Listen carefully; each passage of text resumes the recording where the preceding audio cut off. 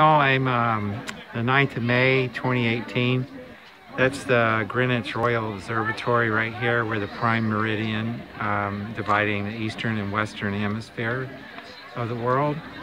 And I just want to do a landscape here of just how massive London is. Um, I live right now, my rental uh, while I'm here is about 40 miles to the northwest and that's the all the bank towers there. And all over um, you see high-rise apartment towers mostly near um, train stations because uh, uh, land is so valuable. Um, everybody is living up now.